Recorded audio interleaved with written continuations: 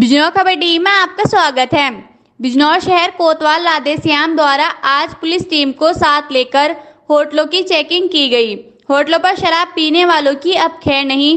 शहर कोतवाल राधेश्याम ने होटलों पर शराब पिलाने वाले होटल स्वामियों को कड़ी चेतावनी देते हुए उन्हें समझाया।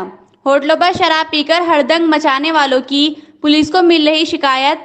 इसको लेकर आज कई होटलों को पुलिस ने चेक किया। पुलिस को देख होटलों पर शराब पीने वाले वहाँ से भाग गए।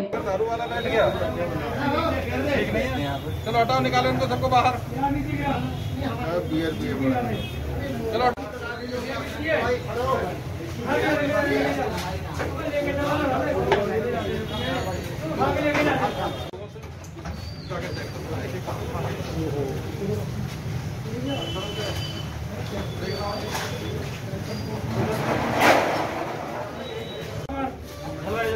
मत